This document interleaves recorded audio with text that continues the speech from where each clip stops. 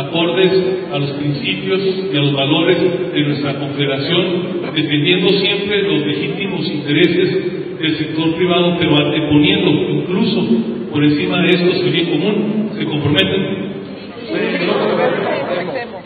Estoy cierto que habrán de cumplirle a la sociedad, habrán de cumplirle a México, y por eso les pido a todos que les demos un fuerte aplauso.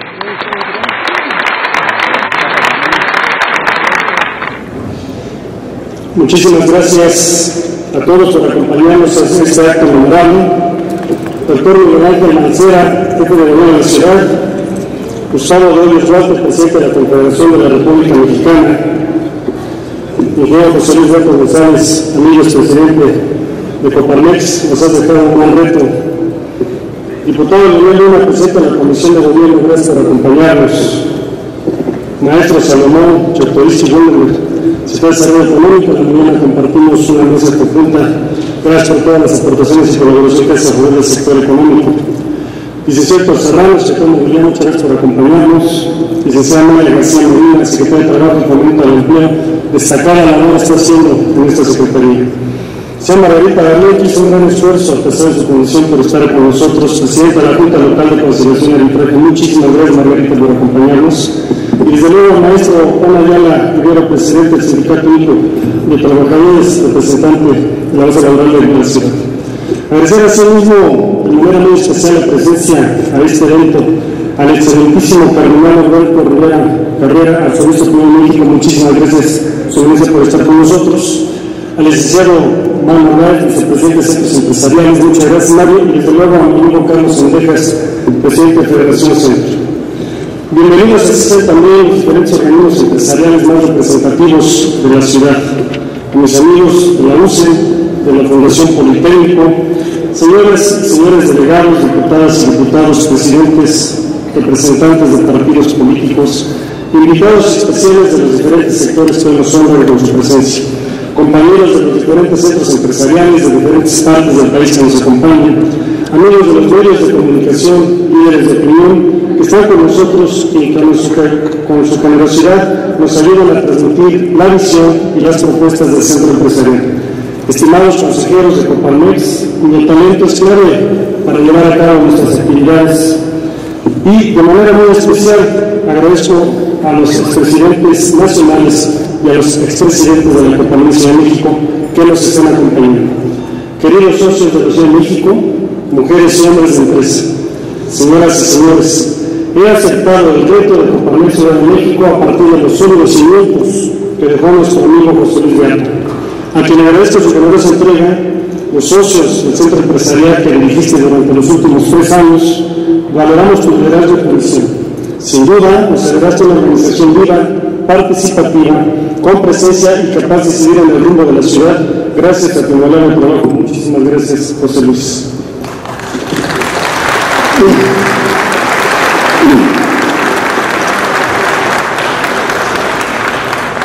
Nos corresponde ahora al Consejo Directivo que ha sido nombrado y de quien ha tomado protesta hoy nuestro presidente nacional, consolidar la Coparmex Ciudad de México que juntos hemos unido. Una organización eficaz, promotora de la competitividad empresarial, punto de referencia obligada de diversos sectores sociales. Una institución con solidez financiera y patrimonial que trabaja incansablemente por el desarrollo de nuestra ciudad y que está comprometida con cada uno de sus socios una Coparmex en la Ciudad de México con una amplia y creciente membresía cada vez más representativa y solidaria. Un centro empresarial con los más altos estándares de calidad, de calidez y eficiencia, con las herramientas técnicas, intelectuales y profesionales que permitan responder a las necesidades y requerimientos y demandas de representación de nuestros agremiados con la tecnología adecuada para informarnos, comunicarnos y estar desde luego más integrados. El país, y muy puntualmente la Ciudad de México, nos exige responder con claridad al llamado histórico de la formación de empresarios, líderes para tener la ciudad que todos merecemos. Tenemos que impulsar una estrategia de formación de liderazgos para generar los mejores cuadros que respondan a la existencia de los capitalinos. Aprovecharemos la experiencia de todos nuestros expresidentes, el conocimiento humano y técnico de los consejeros de nuestro centro empresarial y, por supuesto, el valioso apoyo de la Confederación y de nuestros centros empresariales en todo el país. Vamos con determinación por una compañía capaz de enfrentar todas las batallas en la defensa legítima de los intereses del empresariado y de las grandes aspiraciones ciudadanas por una ciudad cada vez más justa y más digna para todos. Un centro empresarial dispuesto a volcar toda su capacidad en los grandes esfuerzos nacionales de nuestra Confederación, tal y como lo hicimos recientemente en el llamado que nos hizo nuestro presidente, la ruta Coparmés contra la corrupción, donde a partir de ese momento se juntaron más de 12.000 firmas para impulsar la iniciativa 3 de 3 que estaba conformando parte del Sistema Nacional Anticorrupción. En este marco, aprovecho el momento para hacer un amplio reconocimiento y sentido de apoyo y responsabilidad a nuestro presidente nacional Gustavo Dios, que con gran inteligencia y enorme valentía enfrentó momentos delicados pero muy fructíferos en favor de la transparencia y la rendición de cuentas del país. Muchísimas gracias, presidente.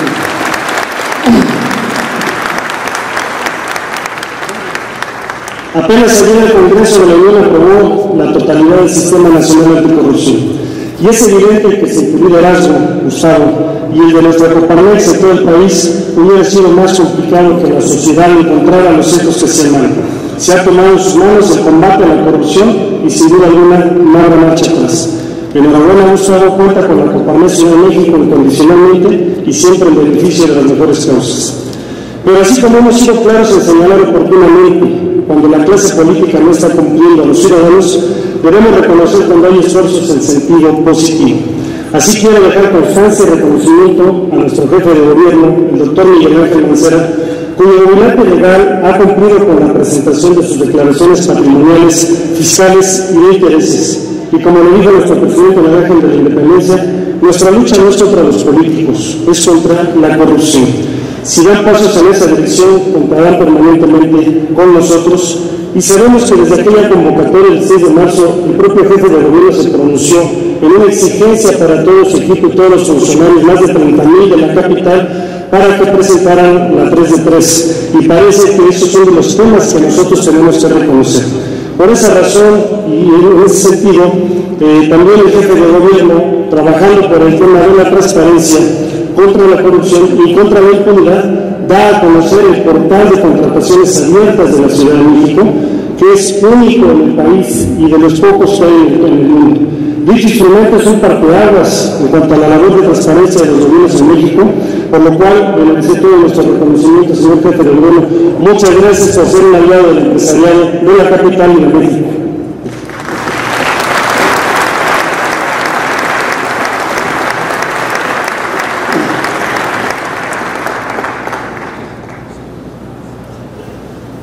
Sí, hay que recordar que de los pocos que brincaron en nuestro ley a favor fue el doctor Mancera.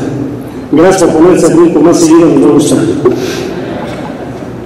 Uno de los principales objetivos al tomar esta alta responsabilidad en la Compamex es convertirla en el respaldo de todos los empresarios de la capital, en palanca de desarrollo y fortalecimiento de las empresas, al acercar los instrumentos que estos necesitan para que puedan seguir haciendo empresas que promuevan el desarrollo económico por el bien de la nación. Para lograr estos propósitos en favor del bien común, buscaremos un sincero y eficaz diálogo con la autoridad que alcance el resultado de un tanto vistos en beneficio de nuestro sector y de la competitividad de la misma capital, entendida como la capacidad de atraer y de reponer inversiones. La competitividad que vale de la mano de un amplio sistema de libertades, libertad de asociación, libertad sindical, libertad de expresión, libertad de creencias y libertad de tránsito, pero también queremos, jefe de gobierno, que a través del Estado de Derecho se respete la libertad de los capitalinos para tener una vida armónica y hacer su desarrollo peculiar y actividades.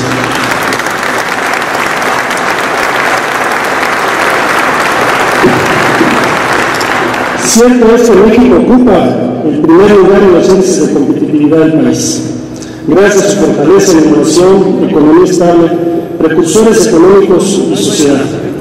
Hoy también tenemos mucho que construir diálogo con los jefes delegacionales, con la Asamblea Legislativa, con todos los actores que permitan que esto sea posible. Del lado la Asamblea Legislativa, hemos encontrado siempre un espacio para el diálogo fructífero. Nos quedan muchos temas que discutir, pero sin duda alguna nos queda espacio para concluir leyes a favor de nuestro sector.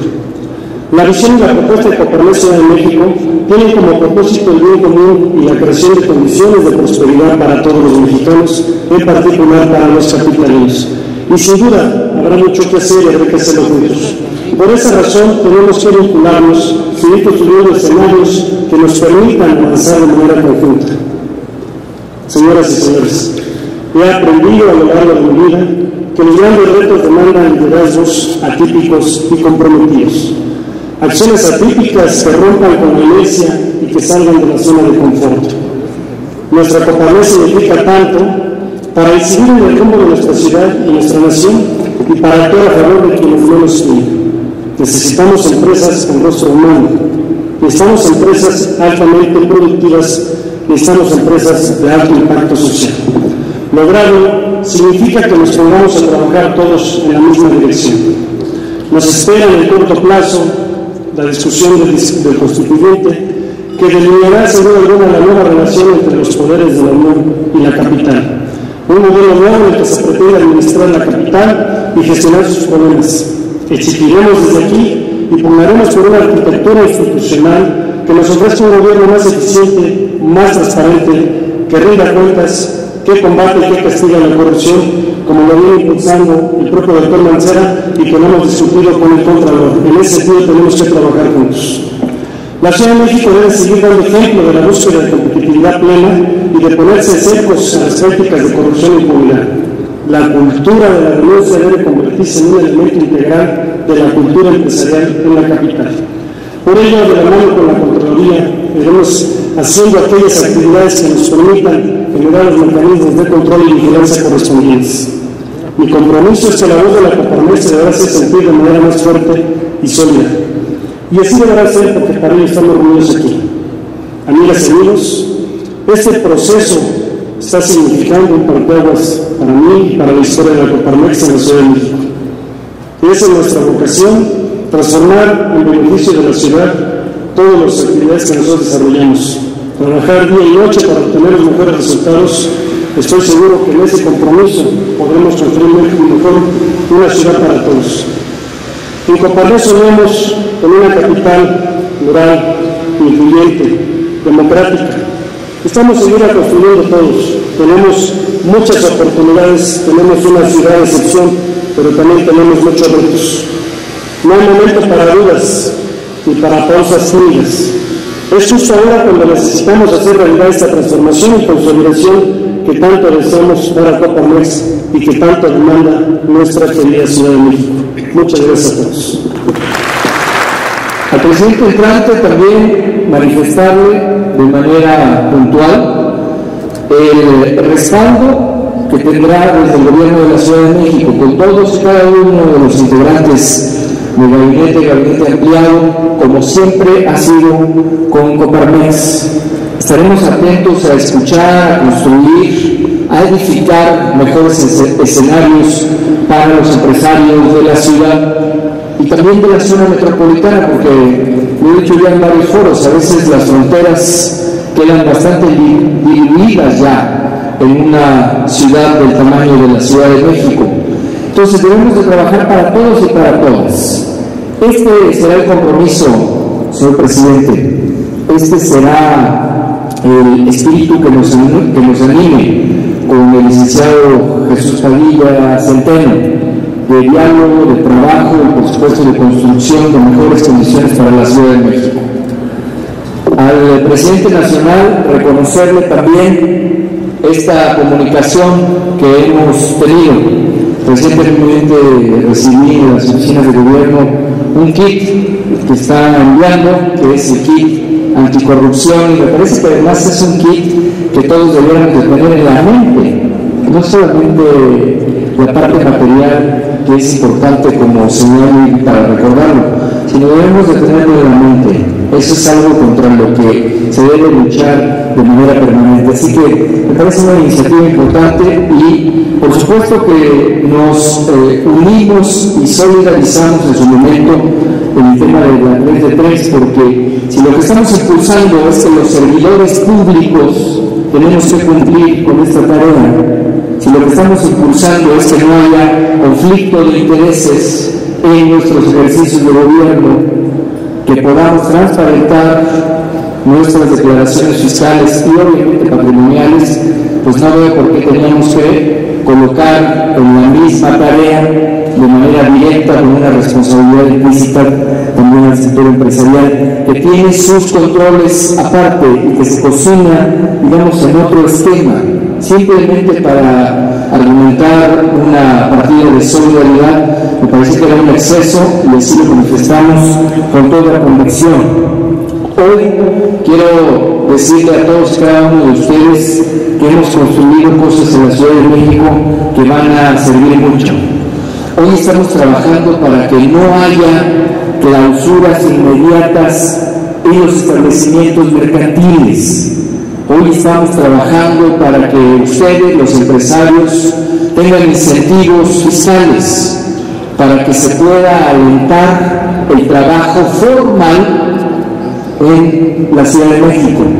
Claro, aquí ya lo dijo el presidente nacional, no es propiamente de nuestra cancha de ambulantaje, pero estamos dispuestos a trabajar con los jefes y jefes delegacionales de la mano. Si hay que hacerlo por la Ciudad de México, tenemos que trabajar todos, sin distinguir ni colores, ni espacios, ni preferencias simplemente trabajar. Hoy la Ciudad de México tiene una gran oportunidad. Yo podría darles ahora varias de las cifras, empezando por el PIB de la Ciudad de México, lo que representa en la esfera nacional y presumiendo algunos de los temas, pero me parece que lo que mejor podemos hacer ahora es seguir en esta línea de esfuerzo conjunto. Más allá de eso, reconocer lo que nos hace falta, reconocer que necesitamos más infraestructura, reconocer que necesitamos mejorar nuestra movilidad, reconocer que para ser eh, también una ciudad más atractiva, una ciudad que pueda tener productividad, requiere tener y cumplir con varios puntos que aquí ya se mencionaron, como lo es el Estado de Derecho, como es la seguridad jurídica, como lo es la definición de sus vocaciones, que es tan importante. Toda esa tarea la vamos a hacer con ustedes como el empresariado. Lo que ya se logró, vamos a cuidar que con la Asamblea Legislativa se pueda consolidar. Lo que hoy ya tenemos de avance con ustedes, con los empresarios, queremos consolidarlo en leyes, que no se quede solamente o en reglamentos aislados o en disposiciones del gobierno central, a fin de evitar tanto enfrentamientos en territorio como inseguridad en el sector empresarial. Yo creo que este esfuerzo tiene que ser conjunto en todo el país. El tema de la lucha anticorrupción, ahora que se ha aprobado el sistema, requiere un gran esfuerzo para actualizarlo.